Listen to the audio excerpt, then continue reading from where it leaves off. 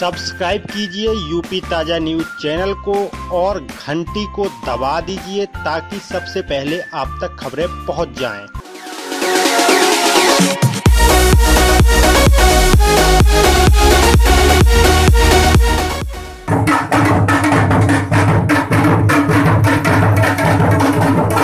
Thank